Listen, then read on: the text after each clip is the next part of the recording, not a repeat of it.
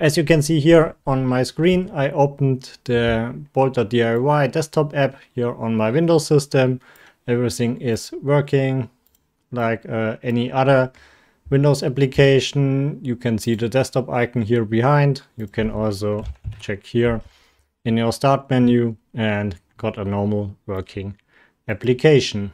Let's reopen it again so you can see everything working as we know it from other apps. So how do you get it? At the moment, let's go here to bolt.diy, to the main GitHub repository. And then here on the left side, go to releases. And we now got here a Electron release. It's a pre-release, so it's just for testing. But with the next releases, we will provide the desktop apps with the normal release, which will be 0.1.0. Um, at the moment, this is based on the current main branch. Okay, here you can download then your dedicated file. So for my case, it's Windows. So I download the Windows setup exe. And as soon as it is downloaded, you can just install it like any other program. Just go through the install steps. Yes, I have it already open, so we close it and then you can use it.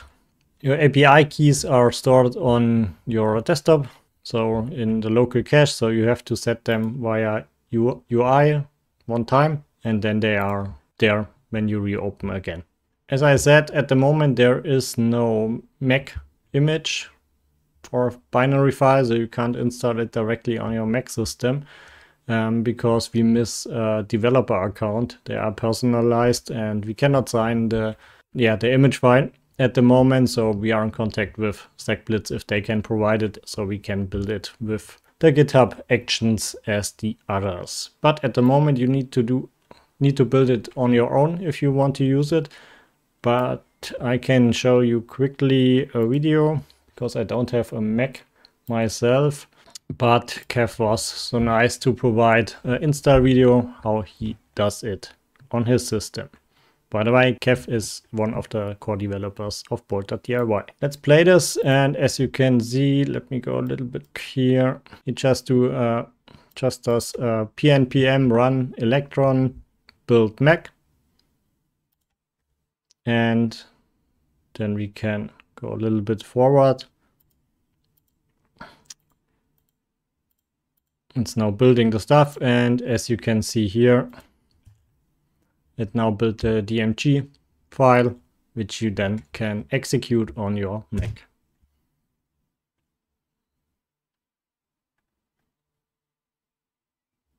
You already installed it, so there was a replace.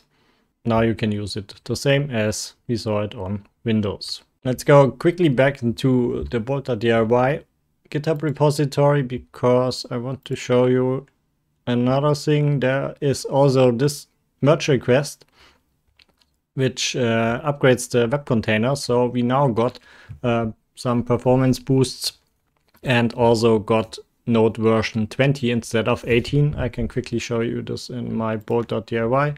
And as you can see, it's now version 20.